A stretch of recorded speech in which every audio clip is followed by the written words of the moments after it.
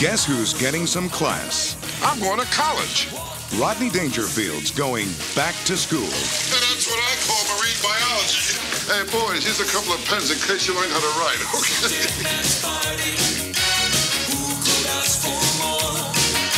When I used to dream about going to college, this is the way I always pictured it. Wait a minute, when did you dream about going to college? When I used to fall asleep in high school. Here's a book on sex education. Let me see that. The world's oldest living freshman. Well, he left out the most important thing. Where to get it. Say it! Say it! Good teacher. He really seems to care. About what, I have no idea. a little something for the kids, okay? Take that, it's okay, huh? I don't have any kids. No, because we're here. Get yourself some kids. We're here. Take it all, all right? What a woman. She is the teacher. I know, I like teachers. Do something wrong, they make you do it over again. What do you say you and I have dinner tonight? Actually, I'd like to join you, but I have class tonight. Why don't you call me sometime when you have no class? He's not just the big man on campus.